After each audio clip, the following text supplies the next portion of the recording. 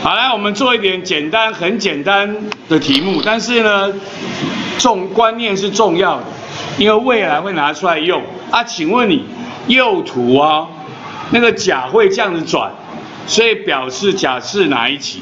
好啦，刚才讲过啦，磁场方向就是 N 级的受力方向，就是 N 级的指示方向。这个磁场方向向右代表什么意思？N 极会受力向右嘛，N 极会指示向右边嘛。它那个甲向左边转，所以甲会是哪一级？S 极。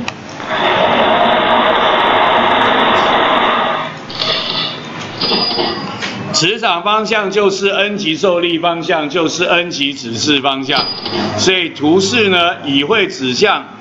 磁场方向乙就是 N 极，那甲就是 S 极，没有持单极，OK？好，啊，这个要考什么？第一个小题要考谁代表磁场实力的强弱大小？那我们说用看谁表达大小哎，疏密程度对不对？所以 A 跟 C 谁比较密，谁比较疏呢？A 比较密，所以 A 的比较大。磁力线的疏密程度代表磁场磁力的大小。A 比较密集，所以 A 的磁力比较大，所以答案就选 A。下一题，请问你 B 珠一谁是像这样的磁场方向？平平的，这是会有个小问题。磁力线的切线方向就是磁场方向，你要看谁的切线是平的。好，这一题而言，答案就出来了，因为只有一个是平的。可是，如果它有两条是平的，你就要知道说它应该向右还是向左。你怎么知道向右向左？磁力磁力线的方向，外面从 N 到 S，里面从 S 到 N，图上有表明谁是 N，谁是 S，你就知道这个方向在朝右还是朝左。刚才已经有讲答案了，这题答案就是谁？B。不用管方向，只要看切线就知道答案是 B，因为只有 B 的切线是平的。那其他的一跟猪都不是平的，就一定不会是答案嘛。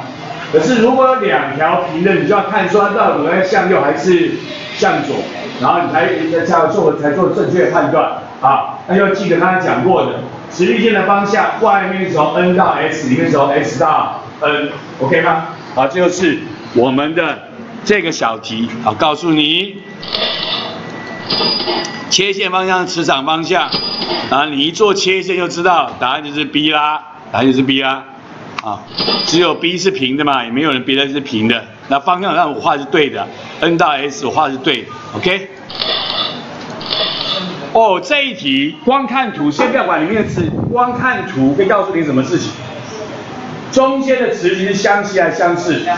相似。分开的，像是考这个嘛，不然或不考这个，对不对？磁力线连在一起的表示相吸，分开的表示相似。然后还有跟我说，假如我 A 是 S 级，它 B 是哪一级？B 也是什么？S 级。啊，很简单嘛。这个 S S 级论是 N 级嘛，对不对？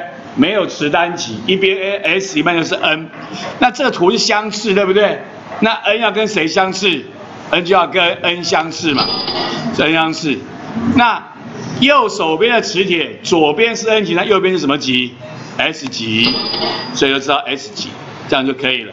这都是非常简单的问题，可是它扯到的观念是后面的考试经常会拿出来用的，所以你要能够理解，可以吗？可以。